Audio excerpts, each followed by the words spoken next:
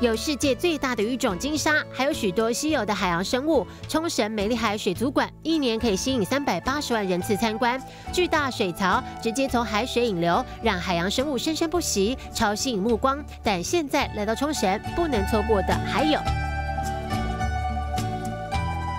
春兴水族馆二零二零年五月底正式开幕，不只能欣赏水槽内的生物，还能体验数位影像、音响、空间设计交织成的光影世界，无敌疗愈。坐着喝咖啡、吃点心，可是比较特别的是晚上变成酒吧。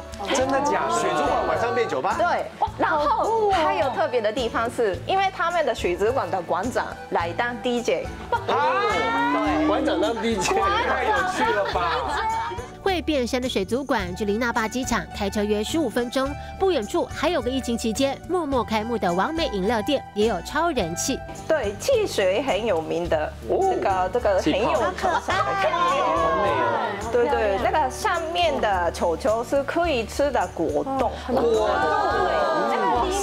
的花也是可以吃的啊，像透明弹珠般的花朵果冻球，一整颗都能吃下肚，光看就有好心情的饮品，搭配一望无际海景，赖上一天也没有问题。这个真的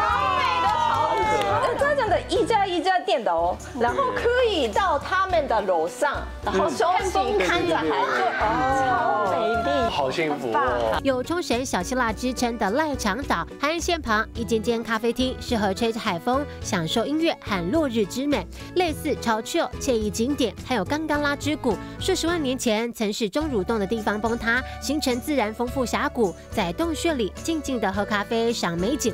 而冲绳中部星野集团咖啡厅是利用自然地形营造出的特殊空间，也是日本国内规模最大的海景咖啡厅之一。要测就是冲绳人。气美食猪肉蛋饭团，台湾有在卖，也非常有名的。还有是披萨吐司，对，披萨图上面有那个苦瓜，这很特别，很特别，好可爱。然后还一定要喝的就是气泡果冻苏打水。